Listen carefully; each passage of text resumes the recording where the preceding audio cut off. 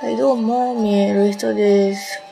本日は、働き蜂いう都市伝説、つかもマインクラフトで再現した都市伝説をご紹介したいと思います。よろしくお願いします。はい。まあ、働き蜂言うたらね、何を思い浮かべるか言うたら、すげえ、すげえいますみたいな。そんな感じやねんけど、後ろに見えるのが、まあ、でっかい蜂の巣やと思っといてください。なんで、あの、普通の人間界からしたら、ちょっと見てるとか、あれ、こんなでっかい蜂の巣ね、あったらほんまドキも抜かしますよ。ぐらいでっかい蜂の巣が、まああるとしましょうや。今回の建築にしてちょっとあの、ボコボコっとしてるけど、まあこれも蜂の巣のいい味。だと思ってもろて。で、今回はね、どういった都市伝説なのかっていうと、まあ異界系統っすね。異界系統のあれ、ランタンどこ行った。働き蜂で、まあどういうのかっていうと、このね、蜂の巣にはね、働き蜂しかいないんですよ。言ってしまえば。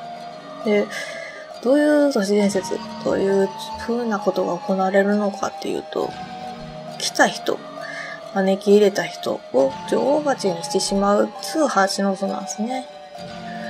まあだから、まあハリボテとかじゃないんやけど、まあ中にこんな感じなもんがありましてね。まあ大きい人間にあそこに座ってもらって女王になってもらうつうのが、まあ、ここの都市伝説ですね。でもまあ、女王蜂になってもらうってそんなね、ここに座るだけやったら簡単やないですかみたいな。そんな感じのもんかもしれんねんけど、全然そんなことなくて、まあ、この働き蜂たちに、このね、今から召喚しましょう。どうやって召喚するんだ？ああ、こうか。うおーっと。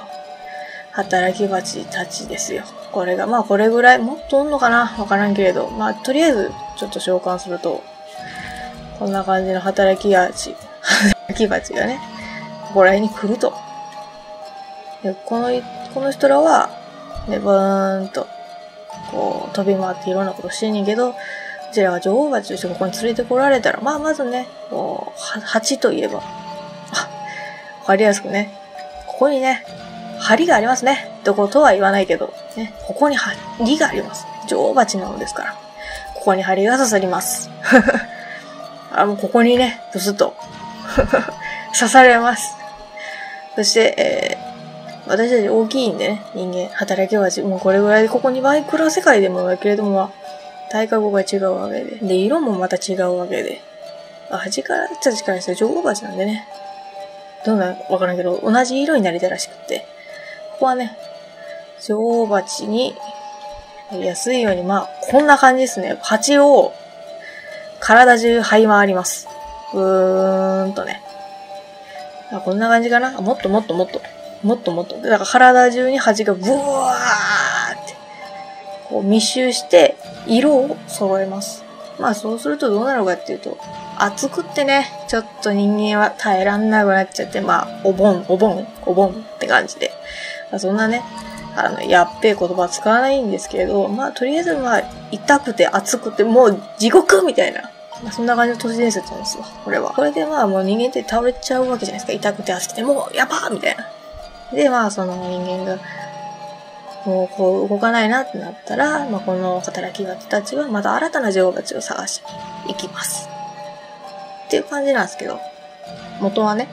でも、まあこういった都市伝説を書いてるの、まあ次元が違って、まあいろいろ違うところがあって、まあ理屈や常識の食い違いが結構あるんですね。まあそれを、えー、人間的な価値観とか理解とかに全部直すと、また全然違うのになるんですよ。今回の場合は。しかもね、可愛いんですよ、今回の。どうだったかな？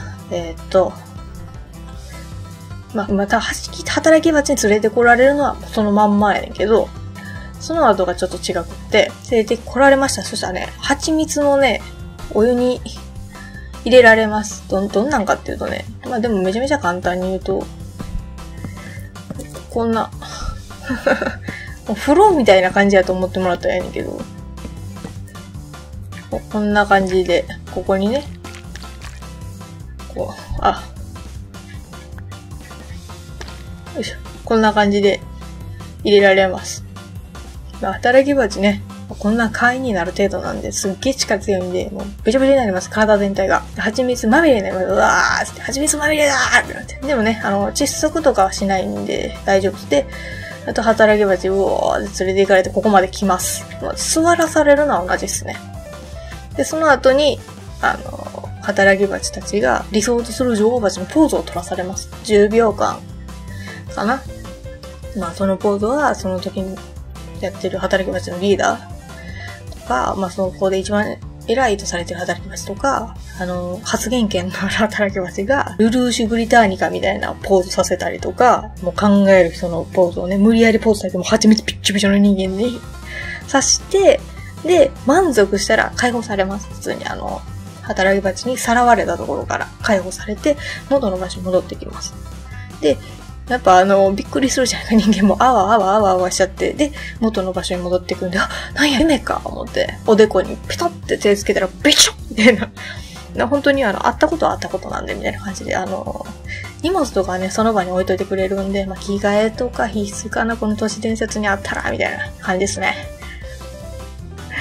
はい今日はそんな感じで。はーい。ご視聴ありがとうございました。さよなら。気をつけてね。